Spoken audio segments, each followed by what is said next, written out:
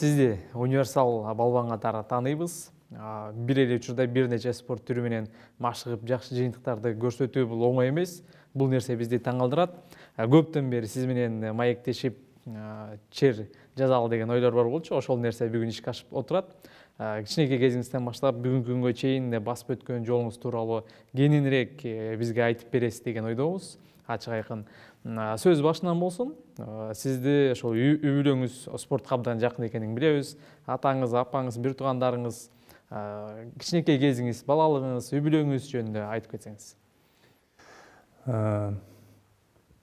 Ооба менин үй бүлөм полный баары эле неме спортко жакын аябай. Өзүбүз мен өзүм таластан төрөлгөм. Анан ошо кичинекей кезимден бери эле атам негизи эң жакын атам да. Өзү спортко фанат болот спортто жакшы көрөт. Анан ошо кичинекей кезибизден бери эле спортсмен болосуңар күрөшөсүңөр деп ушинчи да. Анан апам өзү дагы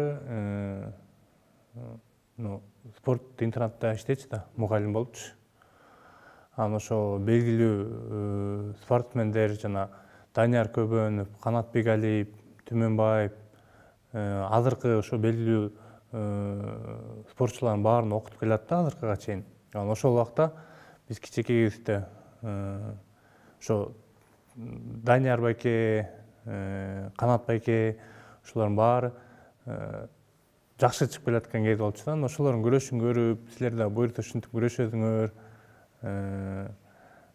ушинтип кичинекей кезибизден бери эле айтчу да байкем экөөбүзгөчү ошол ушинтип апам интернатта иштеп калып атам өзү аябай спортту жакшы көрүп өзү жаш кезинде өзү да күрөшчү да. Кыргыз күрөш эркин күрөш күрөшчү. Тилекке каршы колунан жаракат алып күрөшө албай калды да. Чоң мелдештерге чоң мелдештерге чыга албай калды анан ошо өзү да э, кыялданчу экен да ошо балдарым күрөштө экен. Анан ошо бизди кичинекей кезибизден бери эле э, силер күрөшөсүңөр деп ошо мээбизге киргизип койгон да. Негизи спортко аябай жакындатып койгон да ушинтип эле. Байкеңиз да грек рим күрөшү боюнча чебер ошо бир туугандарыңыз жөнүндө алар мындай чоң мелдештерде жыйынтык көрсөткөнбү бүгүнкү профессионалдык деңгээлде машыгабы ооба байкем грек рим күрөшү боюнча спорт чебери айда биринчилигине коло медалга ээ болгон. Андан кийин эле мен менден кийин кичүү братчикам эркин күрөш менен машыккан бирок ал окуйм деп азыр ошо америкага кетип америкада окуп ошол жакта жашап иштеп жүрөт да. А эң кичүүбүз эң кичүүбүз да азыр азыркы маалда тренировка кылып атат. Спорт школдо окуйт ал деле ал грек рим күрөшү менен машыгат азыркы маалда күрөшүп жүргөн ошо мен анан ошо кичинекей иним да. Эми ал пока жаштык жаш болот да эми буюрса ал да чоңоюп жакшы ийгиликтерге жетет деп ниеттенебиз да. Жогоруда айтып калбадыңызбы ошол учурда мына канат бегалиев руслан түмөнбаев бейжин олимпиадасында жакшы бир жыйынтык көрсөтүп келген деп. Ошол учурда көпчүлүк жаш балдар грек рим күрөшкө барганда анан сиз эмнеге ошол дзюдону тандап кеттиңиз менби негизи мен негизи башынан эркин күрөшкө барардым дечи да кичинекей кезимдечи анан кийин бир маал кайрадан көрүп калдым ушу мен өзүм көрүп калдым да. Дзюдонучу дзюдону көрүп ошо дзюдого барайынчы деп өзүм айтып калдым да. Ушу дзюдого атам алып барды интернатка ошол жактан баштагам да эмнегедир дзюдо жагып калды да магачы грек римге караганда дзюдо жакты мындай өзү ошо кимоночо мындай жакты да ошол күрөшчү? Спорт мектебинде окуп кандай кыйынчылыктар болгон жокпу? Анан ошол спорт мектебинде окуп жүрүп алгачкы мелдештерге катышкан учуруңузду эстесеңиз. Ушу мен негизи жетинчи класста баштадым да спорттучу жетинчи класста немеге интернатка баргам. Сегизинчи класста сегизинчи класстан алат да сегизинчи класста ошол спорт мектебине тапшырып ошол жактан баштадым анан негизи сегизинчи тогузунчу класстарда мындай ийгиликтерге жеткен жокмун да онунчу класста кичине кичине окшош баштадым да бирок байкем сразу күрөшпөйт да байкем биринчи эле биринчи эң биринчи эле неме казакстанга барып ушул жактан биринчи болуп келди да эл аралык турнирденчи а меники окшошкон жок көпчү анан кийин меники онунчу класста кичине окшош окшош анан он биринчи класс болгондо ошондо кетти да меники ийгиликтеримчи ошо алгачкы чоң жеңишиңиз эстей аласызбы алгачкы чоң эң алгачкы жанагы петр тилпизов деген атында болгон турнир болчу. Ошо бизде болгон да бишкекте. Ошол үчүнчү болгом. Эң алгачкым. Андан кийинки эл аралык турнирлерден неме шымкент шаарында болгон ошол жактан биринчи болуп келгем да. По моему онунчу класста эле ошондо болчу. Эң алгачкы ошо чет чет жактан чыгып медаль алганым ошол болчу да. Ошол жеңиштен кийин сизде стимул пайда болдубу мындан да күчөп профессионалдык деңгээлде дагы өнүгөм деп ошо негизи кандай кабыл алды бул нерсени сегизинчи тогузунчу класска чейин мындай мындай неме караган эмесмин да спорттучу мындай серьез караган эмесмин да мындай анан кийин онунчу класста кичине ийгиликтер кетип баштаганда уже өзүмө да жагып калды өзүм да фанат болуп баштадым. Машыгууну жөн жок калтырбай калдым. Ошонун деңгээлинде азыр ушундай немеге жетип атабыз. Ошо калп айтпасам ошо тогузунчу класс ой онунчу класстан баштап бир университетти бүткөнчө аябай мындай өзүмдү катуу тренировка кылдым да машыкканым аябай чоң деңгээлде болду да ошол ушуга жетем ушундай болом деп. Сиздин ысымыңызды бир эки миң онунчу жылы калың эл тааныды окшойт эки миң онунчу жылы сингапурда жаштар арасында олимпиада оюндары болду ошол олимпиада оюндарына кантип лицензия алып калдыңыз ага чейин улуттук курамага мындай чакыруу алып жүргөнсүзбү ошо эң чоң мелдешим ошо биринчи жаштар арасында олимпиада оюндары болду ага биз бир жыл мурун негизи укканбыз ошонучу болот деп анан бир жыл эки үч жыл мурун дайындалып эң биринчи ошо немеге баргам да менчи эки миң тогузунчу жылы азия биринчилигине баргам ага чейин эле негизи могу чемпионатты утуш керек болду да биздинчи кыргызстан биринчилигин утуш керек болду негизи ага сексен бирге күрөшкөм эки миң тогузунчу жылы. Э эки миң эки миң тогуз эки миң тогузунчу жылы. сексен бирге күрөшкөм сексен бирди утам анан бирок менин эсимде жанагы аваз деген бала бар болчу. Ал ошол маалда уже азия биринчилигинин коло медалынын ээси болчу да. Анан кийин кайра кубок мэри бар болчу. Ошогодон утулуп калам агачы по моему анан ошону алып барабыз деп федерация ушинтип чечип ошону алып барабыз деп чечилип калды да. Бирок чемпионатты уткансыз ал бирок мен уткам да бирок ал ошо кайра тиги утулуп калып ал действующий призер айзи деп ошону алып бара турган болду. Анан агайлар менен кеңешип эмне кылабыз эмне кылабыз деп мени токсонго алып бара турган болду немеге? Дүйнө биринчилигинечи будапештте өткөн. Бирок весим сексен эле да. Анан кийин ушу токсонго весим көтөрүш керек болуп калды. Токсонго весим көтөрүп үйдөн тамак атам кефир алып келет продукты толтуруп коет туруп эки жака база эле тамак ичмей болуп калды да. Тренировка кылып тамак ичмей болуп калды. Анан весим примерно бир сексен беш сексен алты болду. Ошо менен мен будапештке кеттик. Канча убакыт ичинде ошол? Беш килограмм салмак коштуңуз үч ай го дейм. Үч ай үч ай эмес эки ай дажечи ошо жайында болчу мен майда утулгам да тиги ошо эки айда беш килограмм алты килограмм коштум да. Анан кийин ошол жактан токсонго күрөшүп биринчи круг поляк балбан менен күрөшүп атам. Өзбекти утам биринчиси. Экинчиси поляк менен күрөшөм үчүнчүсү оруска утулуп калам.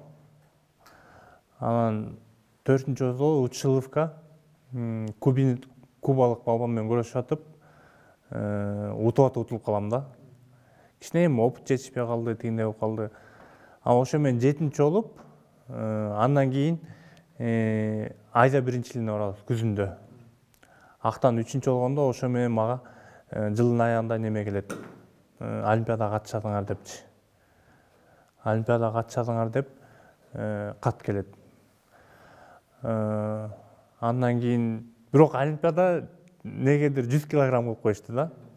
Ушул эл аралык федерация жүз килограмм катышасың деп койду сексен бир төрт вес коюп коюшту да. Элүү беш алтымыш алты сексен бир анан жүз коюп койду да негедирчи токсон жок болуп калды а менин весим токсонго жетпейт анда. Анан жарым жыл калды жарым жыл ичинде мен кайра жүзгө көтөрүш керек болуп калды магачы анан кийин ошол эле жылы молодежь азияга барам. Жазында токсон килограммда. Актан үчүнчү болгом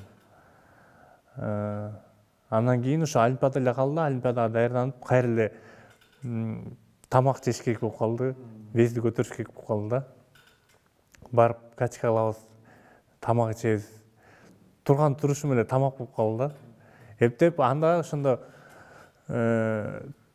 сексен сегиз по моему жаңы кат келгенде менин весим неме болчу? Сексен алты ушундай болчу да мен жүзгө күрөшүш керек болуп калды анан ошо жарым жыл ичинде мен он килограмм коштум да. Жарым жылдын ичинде жарым жылдын ичинде он килограмм кошуп токсон беш токсон төрт токсон беш болуп бардым. Ошо олимпиададан жанагы мирден күрөшкөн кубалык балбан менен күрөшөм үчүнчү местага актан да ошо утуп атып актан наоборот болуп калды да. Ал мени утуп аткан бирок акырында мен чабып кеттим да утуп алып реванш алдыңыз реванш алып алдым да.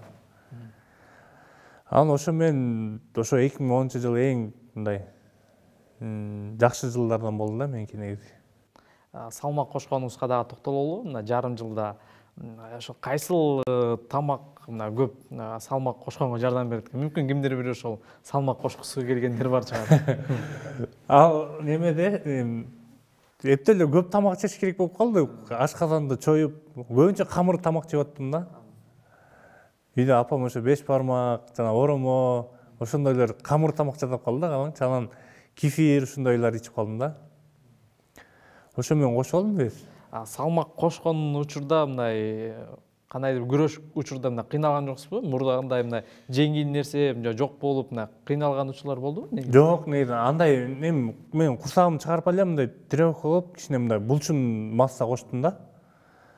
А мындай андай деле кыйынчылык болуп деле болгон жок. Ошол олимпиада оюндарында жаштар арасында кыргызстан капитаны болуп ачылыш аземине желекти көтөрдүңүз. Кантип сизди тандап калды? Бияктан да жана ошо спортсмендердин арасында неме кылган да бизди президентке кайрылуу жасайт да. Ошону ким жакшы айтса ошол болот деди да. Ошо биз тандашты да эми өзү ар ким өзүн айтты мындай мындай президентке мондай сүйлөдүңөр анан кийин мен дагы келбетим бою узун деп ошо мени тандашты да негизичи ошол желекти көтөрүп чыгып бара жаткан учурда кандай сезимдер болду? Негизи мындай башкача сезим көтөрүп баратканда мындай өзүң жакшы да сезесиң бирок үстүңдө да мындай чоң жүк болот да эми ушунча желекти көтөргөндөн кийин өзүң дагы жакшылап күрөшүп мамлекеттин ушунча желегин көтөрүп аткандан кийин күрөштөн да көтөрдүм депчи. Ушундай жүк да болот экен да негизичи.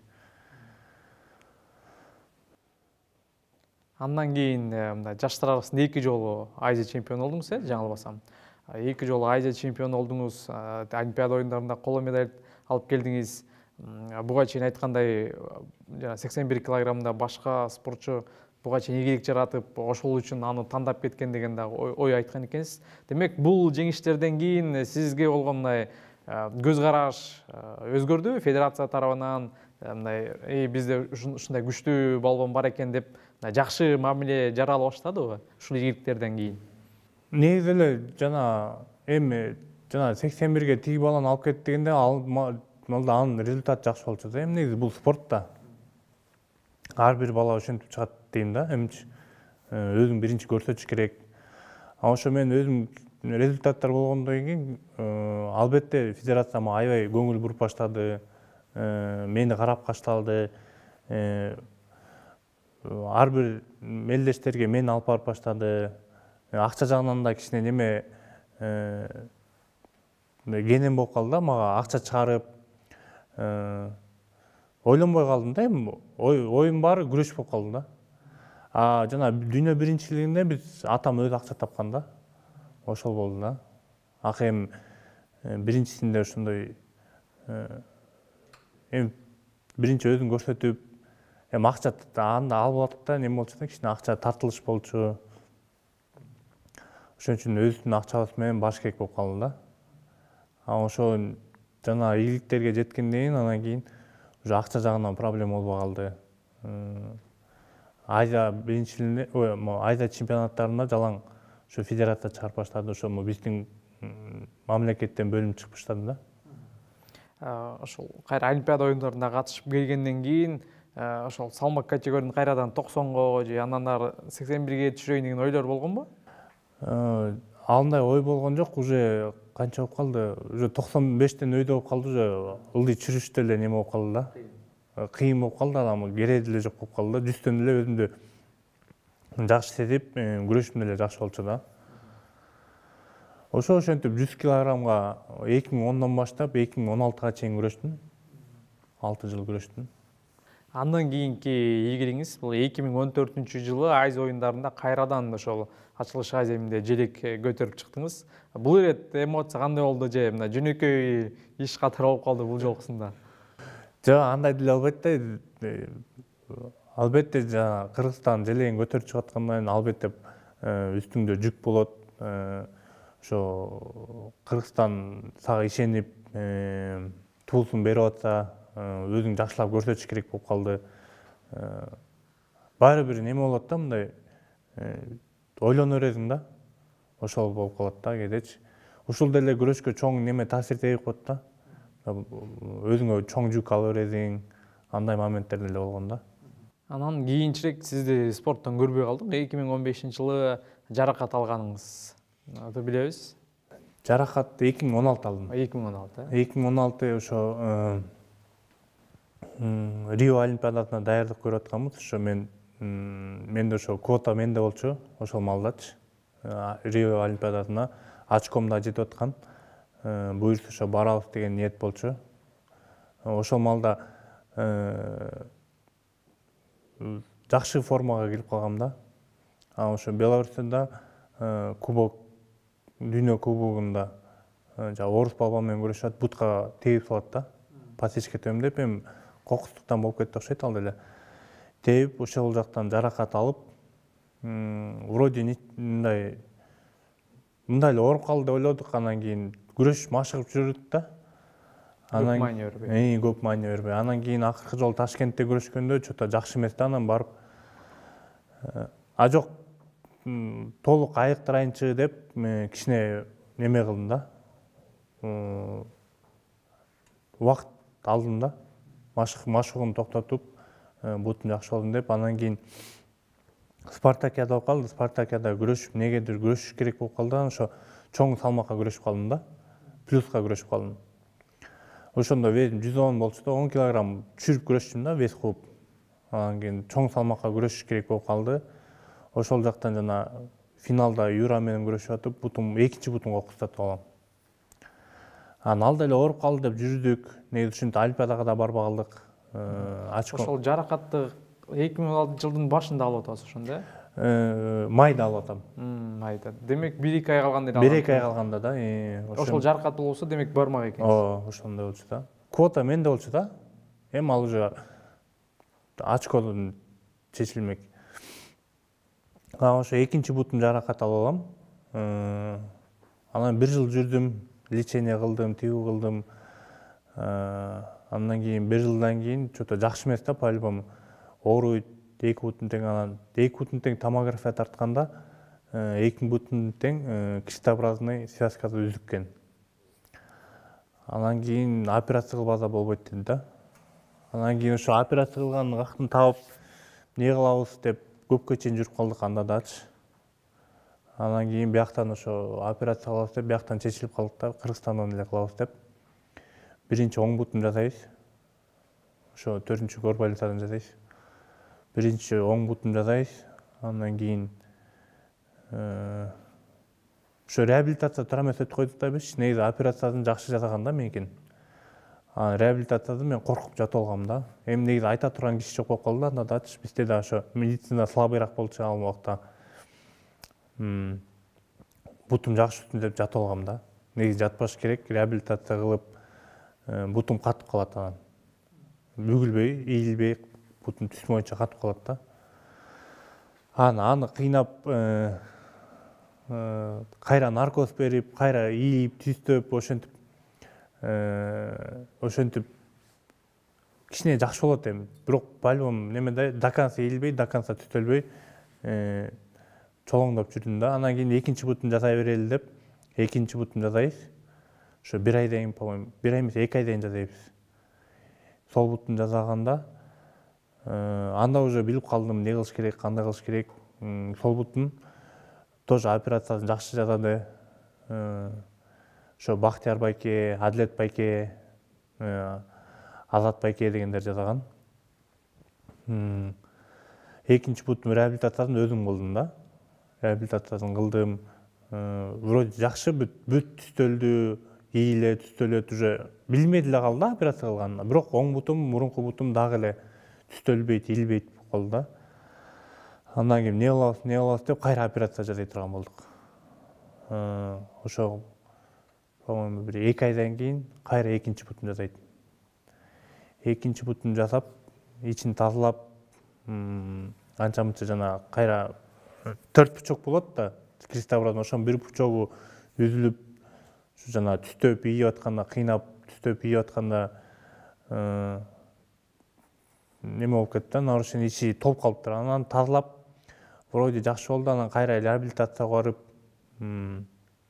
реабилитационный центрге барып бирок по любому мурункудай болбой калды да ошентип ошентип көнүп жүрүп качка кылып атып азыр эми жакшы эле бирок эми кез кезде ооруп калат да. Анан кийин эки миң он сегиз кайра спортко кайттым. Ошо дюссельдорфтон гранд сламга барып эки миң он сегиз ошол жака келдим. Актан үчүнчү болуп эки миң он сегиз как раз азиатский игрде болот анда уже башка салмакка да жүз килограммдан жогорку салмакка күрөшөм. Ошо юрөк юрөк экөөбүз неме болуп калдык да атаандашып калдык да. Анан эки миң он сегизинчи жылы чемпионатка күрөшөм биринчи. Негизи эле ошо спорт болду окшойт дегем да менчи операция ошодон кийинчи анан кийин байкем неме дейт жүрбөйдүңбү залга барып үйдө жата бербей залга барып ошентип качка кылып атып неме кылып атып кичине өзүмө келип алдым да формама андан кийин чемпионатка эле күрөшүп койбойдуңбу деп кайра неметишти байкем жөн эле чемпионатка күрөшүп койбойдум эми для себя эле деп мейли деп чемпионатка күрөшүп чемпионат утуп алам ал жакта юрий катышкан жок жок актан катышкан эмес. Анан кийин чемпионат утуп алгандан кийин германияга неме болуп калат ал жака да сизди мындай жибербей коюшкан э? Негизи эми ака уже неме да эки киши күрөшсө болот да анан кийин ака барып келбейсиңби деп неметип чыкты байкем. Барып күрөшүп келбейсиңби депчи. Анан кийин эч жо тиги неметпесе мен өзүм чыгарып берем. Ошо негизи эле ошо тренировка кылып атканда жанагы витамин витамин полный ошо байкем да. Спортту жакшы түшүнөт. Ошо бул жака барып келбейдим күрөшүп келбейсиңби эми көптөн бери чыгып элексиң жер көрүп эл көрүп дегендей. Анан кийин вроде күрөшүң деле жакшы болуп калды формадасың барып күрөшүп келбейсиң дейт. Анан агайыма барам агайлар мейли бар да барып келели анан бирок тиги бекулов талант деген агайым бар. Ошо барып күрөшүп келсем болобу деп барып күрөшүп кел деп анан ошо бияка топко кирип ошол акча бөлдүрүп берет да. Бирок ишенишкен эмес. Эми ошондой болгон да негизи эми көптөн бери күрөшүп элек деп анан ошол жака бардым актан күрөшүм эми эмнегедир күрөшүм жакшы өтүп кетти да күрөшүп кеттим. Как раз ошо завтра экөө юра менен күрөшкөм. Юраны утуп алып атам. Ошентип үчүнчү болуп кайра ошо спортко неме болуп кетти да кайтып калдым да. Эки жыл спорттон алыс болуп калдыңыз кыйын болдубу мындай стресс болгон учур же андай деле чоң маселе болгон жокпу негизи аябай эле кыйын болду эми бир кезде ошо жаракат алгандан кийин ошо эч кимге кереги жоктой эле болуп калат экенсиң да ошо күрөшүң калып үйдө жатып калдым канча бир жарым жылдай үйдө жатып калдым төшөктө жатып калдым ошо баса албай кайта кайта операция кайта кайта операция кыла берип ошондой болуп калды эки миң он сегизинчи жылы ушинтип негизи эле уже болду дегем да менчи уже күрөшпөйм депчи анан кийин ошентип кайра кайтып келдим негизи ошо ошол момент кыйын болду да негизичи жана травмадан кийинки ойго батып эле эмне кылам эми депчи ушундай болуп калат экен негизи эми өмүр бою тренировка кылып келип анан кийин ошо орто жолдон ошондой бир стресс болот экенсиң да эми негизи бул деле эми кудайдын буйругу ушул ушул жаракаттар менен жашоомо көз карашым башкача болуп калды. Адамдарды билип калдым ким кандай экенин. Негизи жакшы жагы да көп болду да бунучу ошо буга чейинки маегиңизде айткан экенсиз мисалы ошол эки миң онунчу жылы андан кийинки жеңиштерден кийин достор көбөйүп машыктыруучулар көбөйүп бирок жаракаттан кийин ошолор достор дагы машыктыруучулар дагы азайды. андай деле болот. Негизи эле ошо мен эмес эле ошо баары эле спорт спортто жүргөндөрдүн ошо жаракат алып калгандарын баары эле түшүнөт окшойт бул нерсеничи негизи эле ошол нерсе кыйын да бирок ошол кезде сизди колдогон адамдар да болду ооба да колдогон адамдар. Биринчиден ошо үй бүлөм ошо кайра спортко түртүп байкем атам болуп ошо колунда келген нерсенин баарын кылып беришти да. Ошо операцияны деле ошо ошо байкем атамдар кылып негизи эле көп эле акча кетти да буга делечи эми азыр айтсаң билинбейт да негизичи эми бирок ошол ошол моментте кыйын эле болду да негизи. Мына эки миң он сегизинчи жылы чоң иштем турниринде коло медаль уткан экенсиз ал учурда андай ушу чоң иштем белдештерде байге алуу өтө кыйын болчу да. Жакында эле мына алгачкы алтын медаль болду. Бирок ал учурда андай мындай медаль алуу чаң да кездешкен болчу.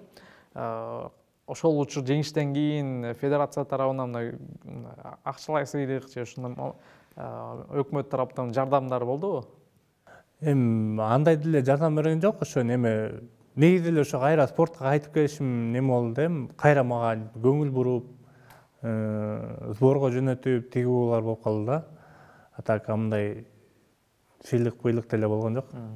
Юрий краковецкийди ошол кезде уткан экенсиз. Негизинен эле юрий краковецкий менен атаандаштык кандай экөөңүздөрдүн мамилеңиздер кандай мамилебиз жакшы. Негизи эле жана мен күрөшчүгөндө экөөбүз аябай дос болчук да. Дос болуп экөөбүз постоянно эле чогуу жүрчүк. Анан кийин эми бул деген спорт да эми. Мен ошол юранын весин өткөндөн кийин эми спортто по любому атаандаш болот атаандаштык болот го. Эми бул килем үстүндө эле экөөбүз атаандаш а так сырттан жакшы эле мамилебиз мына бүгүнкү күнгө чейин мына эсептеп көрдүңүзбү ошо расмий мелдештерде канча жолу ал менен күрөшүп жанагы эсеп канча? Болжолдуу түрдө. Экөөбүз канча үч жолу күрөшүп жүрдүк да ошо спартакиадан травма болуп калганда ошо юра менен күрөшүп аткам да ошондо да. Анда уже травма болуп утулуп калдым андан кийинки ошо чоң шлем турниринде уттум анан кийин немеде уттум кыргызстан биринчи жылында уттум демек эсеп эки бир сиздин пайдаңызда экен да? Анан неме да негизи ошол жылы да азиатский киргизде экөөбүз аябай неме болдук да атаандашып ким барат ким барат деп аягында ошо мени тандады да федерация эки миң он сегизинчи жылы федерация өзү неме койгон да могу эки үч турнирге барасыңар кимиңер жакшы күрөшсөңөр ошол барат деп. Ошол ошо экиби төрт гран приге барганбыз по моему ошолдон менин күрөшүм жакшы болуп федерация мени тандады да. Ошо болот барат деп. Мен бардым да. Бирок тилекке каршы актан дагы ийгилик жарата албай койдук төрт жыл мурун өзүңүздүн маегиңизде айткан экенсиз да жапонияга бара элекмин жапониялык балбандар менен күрөшө элекмин депчи негизинен бул дзюдо эми жапониянын спорт түрү андан кийин дагы мына беш жылдай өтүптүр жапонияга бардыңызбы же жапониялык балбандар менен күрөшүп көрдүңүзбү ооба андан кийин бардым да. Андан кийин эки үч жолу барып келдим окшойт японияга эки миң эки миң он тогуз бир сборго бардым. Андан кийин эки миң жыйырманчы жылы дүйнө биринчилигине бардым. Барып көрүп келдим негизи эле ошо ар бир дзюдо менен машыккан балдар баргысы келет окшойт. Барып ушактын немесин көрүп кандай машыгат алар негизи эле ошо дүйнө жүзү боюнча япониялык балбандар эң күчтүү келет да дзюдо боюнчачы. Анан алардын машыгуусу кандай негизи эле кызык болчу да магачы анан ошо эки миң он тогуз бир бардым анан эки миң жыйырманчы жылы барып келдим эки жолу барып келиптирмин кандай өзгөчөлүктөрдү байкай алдыңыз? Неме экен да? Дзюдо менен машыккандар аябай көп экен да. Тиги мектеп кезинен бери машыгат экен да аларчы анан кийин ошо школьный лигасы университеттер арасында немеси анан өзүнүн чемпионаты болот. Негизи абдан популярный неме экен популярдуу спорт экен да японияда анан ошончо атаандаштык да көп экен да ошодон ошо күчтүү ошодон мисалы үчүн бир салмакта эки жүзгө чейин киши болсо ошодон бирөөсү чыгат экен да күчтүү болупчу ошондуктан алар күчтүү келет а бизде мисалы үчүн чоң салмакты алганда экөөсү эле болот белеби экөөсү эле атаандаш экөөбүз бири бирибиз менен күрөшүп эле жүрөбүз атак болсо биздейден мындай элүү бала келет да. Анан баары тең мындай чоң деңгээлде күрөшкөн балбандар да. Ошол да чоң себеп болот окшойт да. А бияктан юро экөөбүз эле бири бирибизди бири бирибиз менен эле күрөшөбүз башка эч ким жок. А тияктан элүү бала бири бири менен жүрүп ошол жактан бирөөсү чыгат да негизи. Ошондон кийин мында жапониялык болбон менен расмий эмелешиде күрөшүп көрдүңүзбү же күрөшүп көрдүм жана гранд слам токиодон күрөшүп көрдүм бирок тилекке каршы утулуп калдым да. Ошо эмнелери мындай күчтүүлүк кылат экен? Эми техникалык жактан күчтүүрөөк. алар деле неме? Биздей эле неме? Адамдар алар деле утса болот. Просто негизи эле эми негизи утуш кыйын да? Эми утса болот бирок утуш кыйын да аларчы именно дзюдо дзюдо менен машыккандардычы негизи эле эмне жетишпейт? Бизге ошо атаандаштык жетишпейт. Балдар азыраак дзюдодочу конкуренция жок.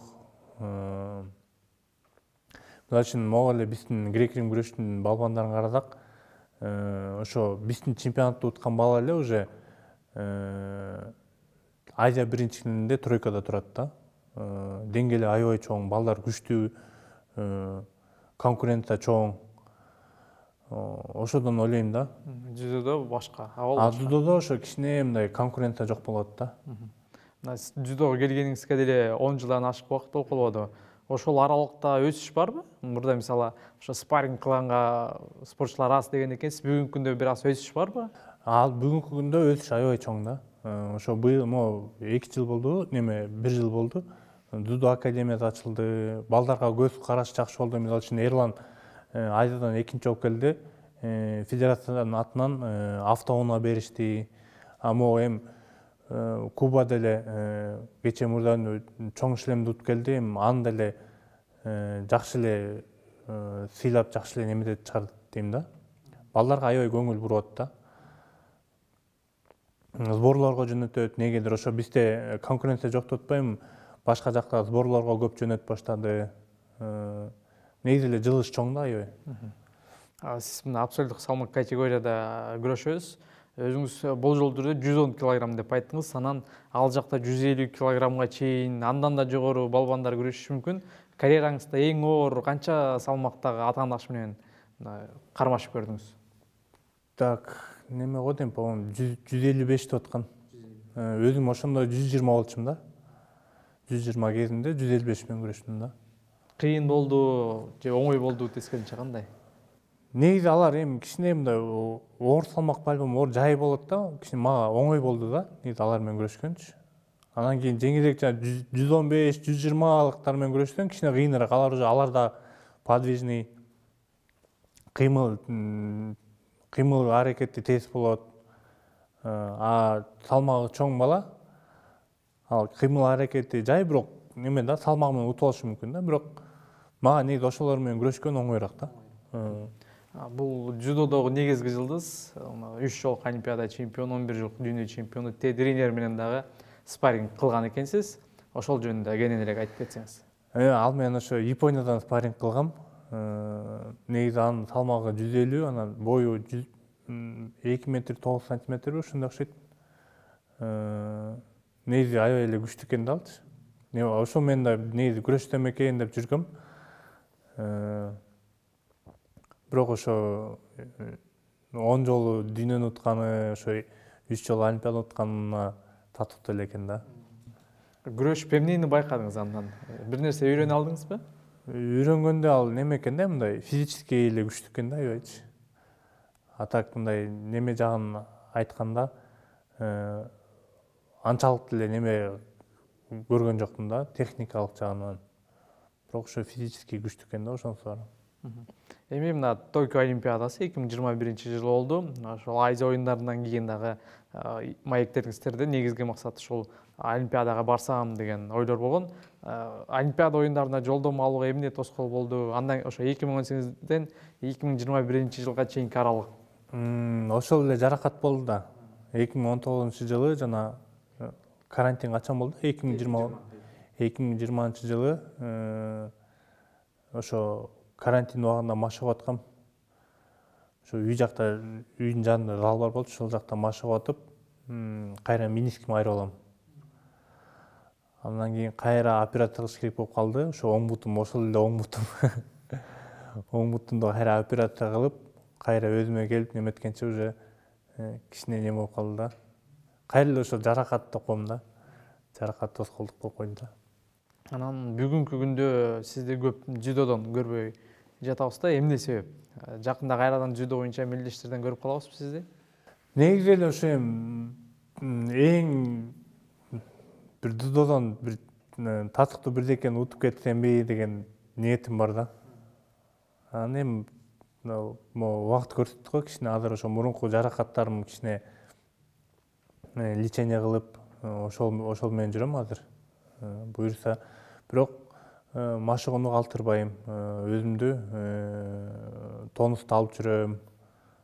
Буюрса эми дарыланып бүткөндөн кийин кайра баштайм. Дарыланып деп калдыңыз ошол төрт жыл мурун маегиңизде айткан экенсиз да бир отуз кырк миң сом кетет деп айына эле спортчуга ошол. Тамак ашка витаминге деп бүгүнкү күндө канча акча кетет? Андан да бир топ эми неме кылганда профессионалдуу спортчуну алганда эми ага деле көп акча кетет да эми. Ошол эле витамини бар ошол эле тамак ашы бар ошол эле жана э, машыгып э, машыккандан кийин ошо массаж дегени бар ошолордун баарын эле эсептеп неметкенде э, бир топ эле акча кетет да. Андан кийин негизи могу балбандардын машыкканы баардыгы эле бирдей машыгат баардыгы эле өздөрүн кыйнайт тренировкаданчы машыгуудан кыйнайт Э, баардыгы эле бирдей эле кылат бирок э, ошонун арасында э, режим режим кармаган бала бар. Восстановление жана өзүнүн тренировкадан кийин эс алуу неме процедураларына караган бала бар. Убагында уктап убагында турган бала бар. А мисалы үчүн бир бала бир ай сборго кетишти бир бала витамин ичип тренировка кылат бир бала витамин ичпей тренировка кылат биринчи он күн экөө бирдей тренировка кылат Э, он күндөн кийин ошо витамин ичпеген баланын уже организми э, башкача болуп э, нагрузка көтөрө албай баштайт. Ошондой нерселер да бар да ошол эле мисалы үчүн эки баланы алсак ошол эле бир бала убагында уктап убагында туруп режим кармап тренировка кылат бирөөсү болсо түндө уктабай тренировка кылган бала албетте ал артка кетет да. Ошондой немелер да бар. Эми бул деле неме да? Э, спортсмендин өзүнөн да өзүн кандай карайт өзүн кандай алып келет э, ар бир спортсмен өзүнүн организмин билиш керек. Э, убагында уктап убагында ошо тамак ичип турда негизи ошо жаракаттан дагы эң биринчи очередь мен неме деп ойлойм да ошо машыккан бир восстановление болгон бир да. Эс алып кайра эмки тренировкага эс алып калыш ошол дейм да. А тренировка кылгандардын баары эле балдар пахать этет өздөрүн полный берет тренировкага. Бирок эс алуу немесине келгенде бирөөсү болсо жумуш иштеп кетет акча табыш керек деп. Бирөөдө таксовать этип кетет бирөөдө түн менен охранада турат. Бирөөдө уктайт. Ошондой да. Эми сөздүн башында айтканбыз универсалдуу балбан депчи кайсыл убакытта ошол дзюдодон башка дагы спорт түрүндө барып өз күчүмдү сынасам деген ойлор кирген же кичинекей кезден баштап эле башка спорт түрү менен дагы ошол мелдештерге катышкансызбы жок негизи жана айтып атпаймынбы байкем грек рим күрөшчү болчу иним эркин күрөш менен күрөшчү анан кийин үчөөбүз үйдөн эле күрөшө берчүк да. Байкем дудо залга келчү дудо менен күрөшчүк мен гректерге барчумун гректер менен күрөшчүк волингтерге барчык волингтер менен күрөшүп ушинтип жүрө берчүк да мындай бош убакта.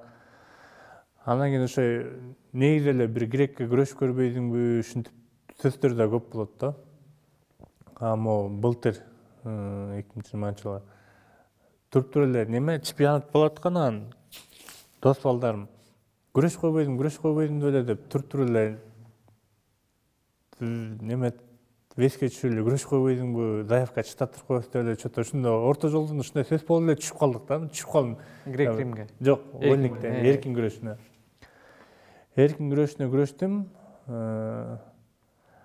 ага чейин бирок немени утуп алам мен дзюдо боюнча чемпионат. дзюдо боюнча чемпионатты утам самбо боюнча чемпионатты утам анан кийин кыргыз күрөштөн утуп алам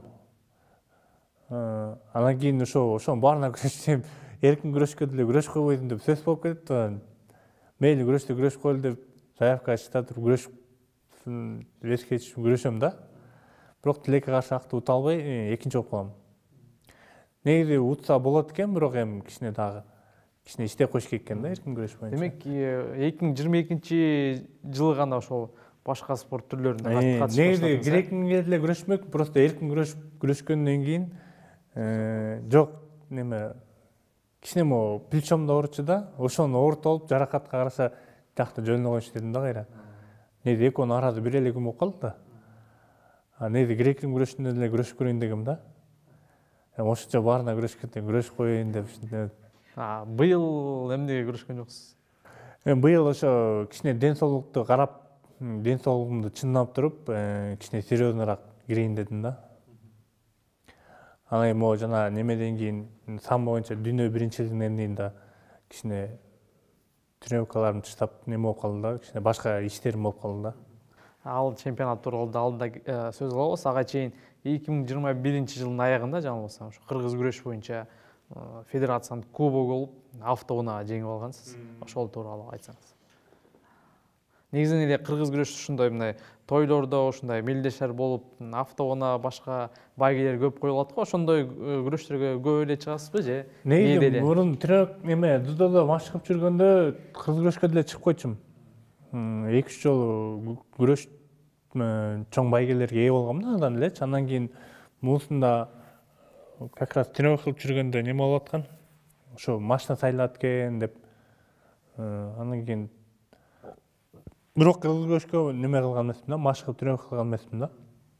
Ушундай кыргыз күрөштүн балдары менен барып күрөшүп күрөшүп коеюн деп ушул жакта күрөшүп автоунаа утуп алдык кыргыз күрөшү менен ушу дзюдонун айырмасы эмнеде экен эмне? Кыргыз күрөшү жактыбы негизи.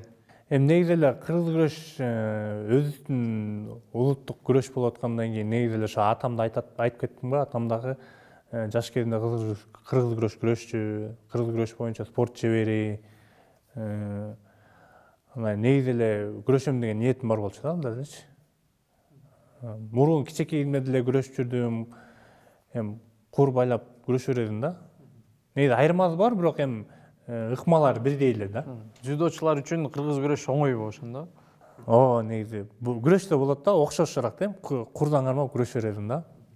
Ошол кыргыз күрөш боюнча эки миң жыйырма экинчи жылы мына чемпионатты утуп көчмөндөр оюндарында жолдомо алды деген жаңылык чыккан. Бирок көчмөндөр оюндарында кыргыз күрөшү болгон жок окшойт сиз казак күрөш боюнча үчүнчү орун алдыңыз э? казак күрөш боюнча.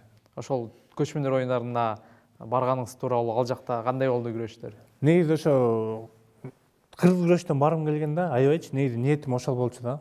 Кыргыз күрөштөн барып көчмөндөр оюндарын утуп ошо международный толтура алайын деген ниетим бар болчу да. Эми кандай болду дагы дзюдо неме болгондо эми кыргыз күрөш деген өзүбүздүн улуттук күрөш буну колдойм мен ошо кыргыз күрөштү негизи чоң деңгээлге чыгарып ошо мамлекетибизде өнүктүргөнгө немемин да ниет бар да эми ошол кыргыз күрөштү өнүктүрдө жакшы болмок да мисалы үчүн казактарда жана олимпийский видке караганда национальный види өйдө турат да. Жанагы ошол эле көкпар ошол эле казак күрөш ошондойлору аябай көзөмөлдө да аябай жакшы карайт да ошолордучу ошо биздин деле ошо өзүбүздүн улуттук. Эми көк бөрү бизде аябай популярдуу го. Эми ал неме турат да бирок ошо кыргыз күрөш кичине неме болот да аксап турат да ошону да деңгээлин көтөрүп элге таанытып ошо кыргыздарда ушундай улуттук күрөш бар деген нерсени неме кылса жакшы болмок да элге таанытып чотон аябай эле аксап барат да ошо казак күрөшү кандай экен? Ал жакта үчүнчү орунду алдыңыз канча беттеш өткөрдүңүз казак айырмасы эмнеде экен? үч казак күрөштөн үч беттеш күрөштүм. Эки унутуп бирөөндө утулуп калдым да. Ошо түркмен балбанына утулуп калдым. Бирок кичине неме экен да андан да ошондо биринчи жолу күрөшкөм андачы казак күрөшүндө биринчи жолу күрөштүм. Кичине кандай өзгөчөлүктөрү бар экен кыргыз күрөштөн? Кыргыз күрөштө немеге жакыныраак экен да бул дзюдого жакыныраак экен жанагындай кимоно кыска кимоно кийет экен шорточан анан ошо немеден кармап күрөшөсүң да кийимден кармап күрөшөсүң да дзюдодой кылыпчы негизи дзюдого жакын экен да ошо дзюдоист болуп эле кичине окшоштуруп үчүнчү болдум да андан кийин эле былтыр ошо казак күрөш боюнча дүйнө биринчилигине баргам мактанып экинчи болуп калдым да бирок казак балбанына утулуп калдым ал казакстанда болду казакстанда болду эми мына алдыда дагы көчмөндөр оюндар болот казакстанда ага дагы ошо кыргыз күрөштөн же башка ушундай улуттук күрөштөрдөн барайын деген ойлор барбы негизи кыргыз күрөш болсо кыргыз күрөшкө барайын деген ниетим бар да.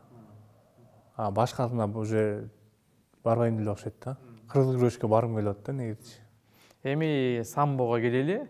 Негизинен бул мыйзам ченемдүү көрүнүш дегенде самбочулар дзюдо боюнча мелдешке катышат дзюдочулар самбо боюнча экөө абдан жакын да анан сиз ошол самбого качан кызыгып баштадыңыз качантан бери ошол самбо боюнча мелдештерге катышып баштадыңыз? Самбога мен ошо немеден эле ошо мектепте окуп жүргөндө эле күрөшүп жүрчүмүн ошо самбо дзюдого күрөшүп жүрчүмүн да экөөнү неметип анан негизи ошо неме бар го дзюдодо эгер башка видке күрөшсөң дзюдодон дисквалификация кылып салат да бир ай эки ай үч айга чейин күрөштүрүп коет бул жергиликтүү федерациябы же эл аралык федерация эл аралык федерациячы ошон үчүн көп күрөшкөн эмеспиз да анан кийин былтыр олимпиада өтүп кеткенден кийин жана менин өзүм агам азамат казакбаев башкы машыктыруучу болот ошо экөөбүз чогуу эле тренировка кылып жүрчүк мурун интернат ал деле интернатта окуган ошо бир ак айда тренировка кылчык да агайыбыз бирде анан ошо самбага келбейсиңби бир көрбөйсүңбү деп калды да ошол тартты да негизичи ошо самбога күрөшпөйсүңбү деп. Хорошо деп москвага бир дүйнө кубогуна алып барды эки миң жыйырма бир э бул эки миң жыйырма бир. Эки үч сборго алып барды анан ошентип ошо бишкекте болот дүйнө биринчилигине ошого күрөшүп койбойсуң дегенде ошо бишкектен күрөшүп макул болуп күрөшкөнбүз демек ошол дүйнө чемпионатына чейин башка ири мелдештерден ийгилик жок болчу э же бар беле? Самбо боюнчабы ошо неме кубок мира дүйнө кубогунда үчүнчү болдум да. Ошо биринчи эң биринчи ошо самбо боюнча алгачкы немем ошол болду да. Андан кийин бияка келип эки үч сбор өттүр эле. Бишкектен дүйнө биринчилигине күрөштүк да. Бишкекте беш беттеш өткөрдүңүз э беш же төрт? Төрт. беттеш өттү ошол биринчи анан акыркы беттеш оор болду дедиңиз. Эмне себептен? Негизи эле любой мелдеште жана биринчи мелдеш кыйын болот да. Биринчи мелдеш эми өзүң жана ойлонуп жаткан ошо үстүндө жүк турганы ошо кыргызстанда болуп атат. Негизи бир мелдеш өткөндөн кийин уже аябай жеңил болуп калат да уже ары жанагы волнение деп коет го. Азаят толкунданып ушинтедим да биринчисиндечи баары бир коркуу сезим болот кичине болсо дагычы любой эле спортсменде болот окшойт булчу биринчи беттешке чейин коркуу сезим толкунданып турасың. Ошо биринчи беттешти өткөндөн кийин ошонун баарын кое берет да а финалдык беттеш уже актан э, финалга чыккандан кийин ошо жананча элдин баары карап аткандан кийин актан эле кичине жүк болду. Монголдо эле дүйнө чемпиону болчу. Ошо немеге караганда ошо физически кичине кыйыныраак болду да. Күрөш. Эң кыйын күрөшүм ошо болду да. Ага чейин вроде анчалык кыйналып деле өткөн жокмун да башкаларчы. Эсебибиз да эки эки үч болуп калды да ага чейин берки биринчи беттешим беш ноль менен уттум экинчи беттешим анан үч предупреждение менен чыгарып салды төртүнчү мелдешим немем тиги түркмен жер чабып салды да дача кылып койду ошо менен ошо тиги менен үч эки менен утуп да ошо монголиялык балбан менен он жыл мурун дагы беттешкем деп айткансыз анда утулуп калган экенсиз ал кайсыл мелдешеде ал самбо эле же дзюдодон утуп калган да. Ошо монголияда болгон неме? Чыңгыз хандын кубогу болчу да. Ошо монголияда чыңгыз хандын кубогунда күрөшүп экөөбүз за тройка күрөшкөнбүз за тройка утулуп калгам да качы ошо эки миң он биринчи жылы окшойт по моему же эки миң он бир эки миң он эки окшойт да. Жок эки миң он эки экен олимпиададан кийин болчу күзүндө эки миң он эки болчу лондондон кийин болчу ошондо утулуп калгам анан ошо кайра бияктан реванш алдыңыз реванш алдык сизди ошол тааныдыбы же тааныган жокпу ошону билбейм мындай сураган жоксуз мындай сүйлөшүп десең неме орусча түшүнбөйт экен англисче түшүнбөйт экен ушундай экен да сураган эле жокмун тааныды го дейм ал тааныйт да ошол ийгиликтен кийин мамлекеттик даңк медалин алдыңыз ошол кандай экен? Мындай эми бул чоң жетишкендик да мамлекеттик сыйлыкты алыш бул өтө оор. Демек сиздин мамлекет сиздин эмгегиңизди баалап ушундай дүйнө чемпиону болду деп бул сыйлыкты тапшырды. Ал сыйлыкты эми анчалык деле чоң экенин билбептирмин да менчи эми даңк дегенди уккам негизичи анан кийин ошо даңк алдың деп элдин баары эле даңк алдың даңк алдың дегенден анан кийин алгандан кийин ошонун ошол медалдын баркын билдим да. Көп киши буга жетпейт экенчи. Ага чейин андай маани деле кылган эмесмин. Алгандан кийин ошо элдин баары эле кубанып куттуктап баштагандан кийин анан неметтим да билдим да ошо чоң сыйлык экенчи. Эми алдыда пландар боюнча? Эми алдыда пландар боюнча ошол эле азамат агам неме азиатскийге барып дүйнө биринчилиги болот самбодан могу дзюдодон деле азиатскийге эми ака чемпионатка күрөшкөн жокмун ал жака кандай кылат эмне болот пока билбейм бирок агайларым баары эле бир күрөшүп көрбөйсүңбү деп атат да. Азыр могу буюрса кичине ушунча спортто жүргөндөн кийин жаракатым да көп. Ошонун баарын дарылап кайра өзүмө келип жыл сайын дарылап турам да ушинтипчи жыл сайын перерыв кылып дарылап неметпесең а то эми ушунча жылдан кийин ден соолук жашаш керек да. Ден соолук керек. Ошол ден соолукка чоң маани берем да азырчы. Ушул жаңы болбосом жай айында жай мезгилинде аягында кыргызстанда дүйнө кубогу болот самбо боюнча. Ал эми сентябрда бул айз оюндары болот да. Демек сиз тандашыңыз керек э экөөнүн бирөөсүнө катышыш үчүн. Самбону же дзюдону ооба неме бирок неме деп атат? Азиатскийге күрөшө бересиң деген койдум да. Ошону такташ керек болот да. Пока толук билине элек да. Эми ал жакындадым байкайсы а пока өз машыгып өз тонусту кармап турайлы ошол бир гана спорт түрүн тандаш керек болсо кайсыны тандайт элеңиз? Дзюдону таанамакмын өзүңүздү ийгиликтүү спортчумун деп эсептейсизби?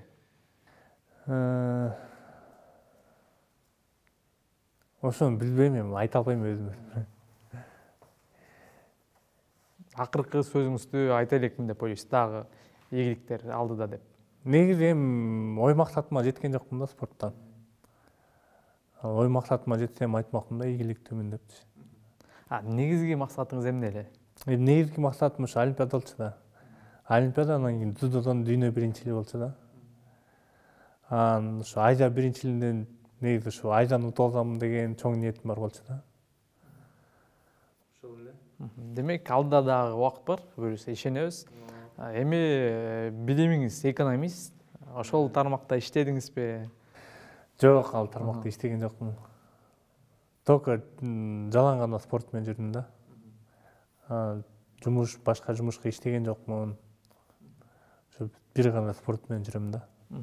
Эми май күзүнүн аягында белгилүү франциялык жазуучу марсель прус өзүнүн суроолорунан турган анкетаны түзгөн экен ошол суроолордон берели сиздин эң мүнөздүү өзгөчөлүгүңүз мүнөздүү өзгөчөлүкпү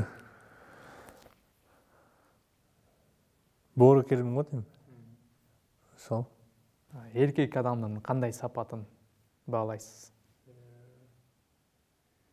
сөзүнө туруктуу аял кишинин кайсы сапаты жагат аял кишининби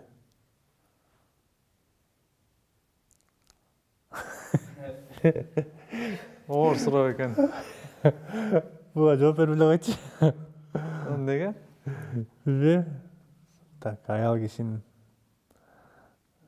кандай айымдар жагат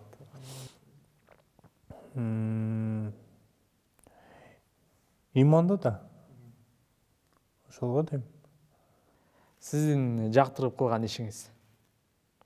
Спорт? Өзүңүздүн кайсыл сапатыңыз жакпайт?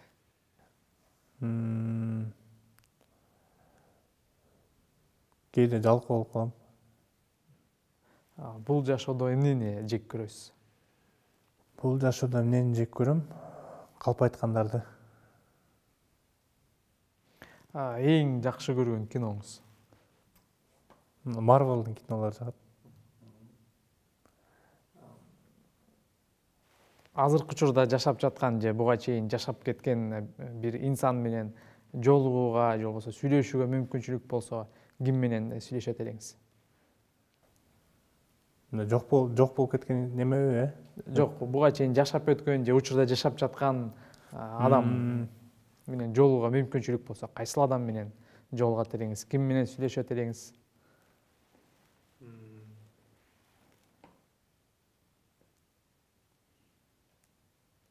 Чоң апам менен ошо канча үч үч жыл канча беш жыл болуп кеттиби жок болгонуна ошо менен сүйлөшөт элем чоң апаңызга жакын болуп өстүңүз белең ооба жакын элебиз жашоодогу урааныңыз девизимби эме эми мага негизи атам айткан да негизичи неме депчи эл сени спортсмен катары сыйлабасын эл сени адам катары сыйладым деген нерсе да. Өтө жакшы жакшы сөз экен чоң рахмат байке все рахмат.